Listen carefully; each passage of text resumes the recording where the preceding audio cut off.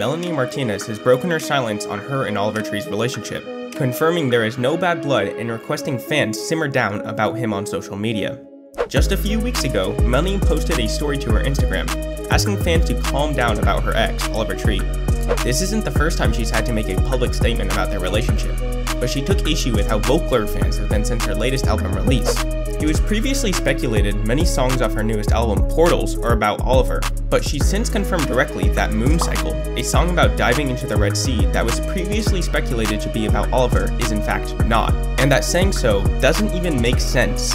And also that the screaming sampled at the end of her song Leeches is not Oliver, as was previously speculated. All of this has put a lot of tension between fans to rest, and it's best to assume by their public standings about each other that no songs by either artist are about the other, unless stated otherwise. Fans can now rest knowing that